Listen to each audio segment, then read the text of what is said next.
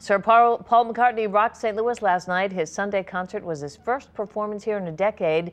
No surprise, the show at the Scottrade Center was sold out. This is so cool. The St. Louis show, one of only two stops in the United States. We monitored Twitter overnight for some reaction to the show. A lot of talk on Twitter. One person said it's the best concert he's ever been to, while others said the show was just, quote, an amazing show. Uh, I was lucky enough to go with uh, our best seats winner. And, uh, oh, there we go. There's a picture of my uh, lovely wife, Jennifer.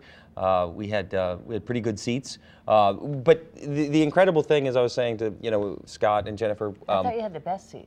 Well, these the were house. the best seats. There's Heidi and her sister Jody. Um, pretty pretty darn good seats. Mm -hmm. I'll, I'll, put it that way.